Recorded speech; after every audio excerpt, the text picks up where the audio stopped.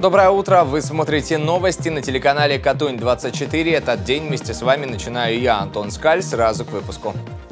Большую партию бюллетеней изготовят в Алтайском крае для голосования на выборах президента России. Давайте посмотрим.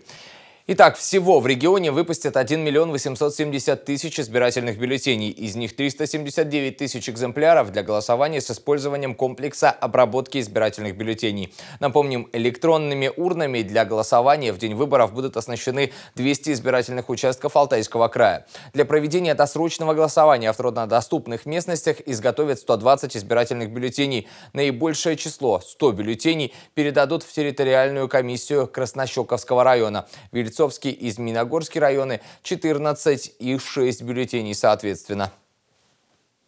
В Алтайском техническом университете будут обучать по новой программе «Цифровые финансы». Набор абитуриентов на цифровые финансы начнется в этом году. В основе цифровой экономики новый механизм управления финансовыми потоками на всех уровнях управления, от хозяйствующего субъекта до национального. Как рассказали нам в ВУЗе, бакалавры, выпускники по направлению бизнес-информатика позиционируются как специалисты отделов проектирования, внедрения и эксплуатации IT-систем в крупных организациях, либо в малых или средних консалтинговых сервисных компаниях. Их профилем являются финансовые аспекты взаимодействия экономических субъектов как в традиционных условиях хозяйственной деятельности, так и на крепнущем рынке оказания электронных услуг. К другим темам. Искусство движения и взрыв эмоций. Впервые в Барнауле прошел открытый турнир первенства города по латиноамериканским и спортивным танцам. Евгения Князева подробнее.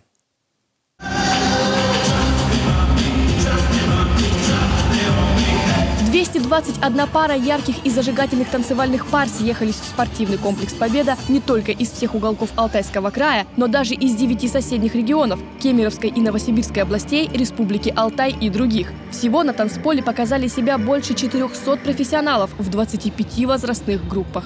Если мы говорим о качестве танцоров, которые сегодня э, танцуют на нашем турнире, то это прежде всего спортсмены, претендующие уже на высокий уровень.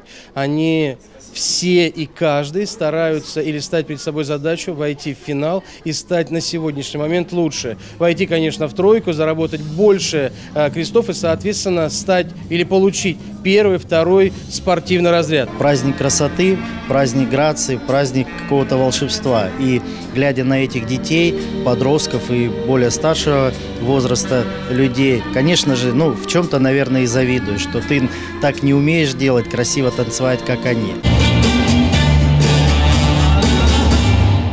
Танцоры демонстрировали себя как в паре, так и в сольном исполнении. Для большинства из них соревнования стали самым серьезным испытанием за всю карьеру. В танцах не всегда на первый план выходит четкое и плавное выполнение всех движений, но еще и артистичность. Кстати, судейский состав представлен 30 высококлассными специалистами. Нужно убедить весьма квалифицированную судейскую коллегию. Это все судьи, не просто судьи потенциального спорта, это все судьи, имеющие спортивные судейские категории. Это тоже накладывает определенный отпечаток и требования.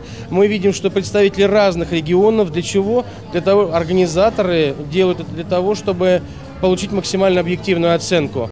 По итогам соревнований лучших наградили в номинациях европейской и латиноамериканская программы. Все победители получили ценные призы от организаторов состязаний. Уже в ближайшее время многие из триумфаторов открытого турнира первенства Барнаула по латиноамериканским и спортивным танцам попадут в финал, где накал страстей и эмоций во время выступлений будет гораздо выше, ну и, конечно же, судьи еще строже.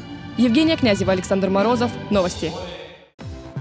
На этом у меня пока все. Я передаю слово моей коллеге Елене Хорошавцевой в студию утреннего канала.